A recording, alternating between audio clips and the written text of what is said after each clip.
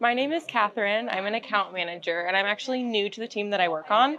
So I found that this was really applicable to what I'm going through right now. Uh, it taught me a lot of how I can learn more, so asking great questions, and also what I can expect from my leaders and what I can request from them. Because I do get the question a lot of what can I do better for your you, and I ask that question as well.